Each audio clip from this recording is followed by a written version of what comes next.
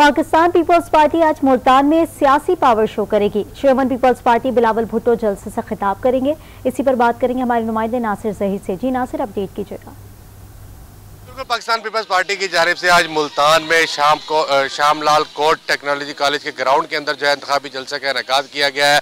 इस वक्त कुर्सियाँ जो है वो लगा दी गई हैं ग्राउंड के अंदर, जबकि स्टेज जो है वो भी तैयार कर लिया गया है।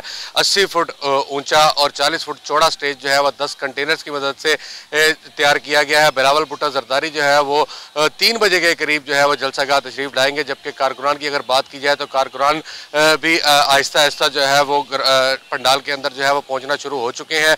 पाकिस्तान पीपल्स पार्टी की जानब से ये पहला इंतबी जलसा है मुल्तान के अंदर और इस जहाँ पर जो है सबक यूसर रजा गिलानी समेत दीगर अकाबरीन और ब्रावल भुट्टा जरदारी जो है वो खिताब करेंगे। जी।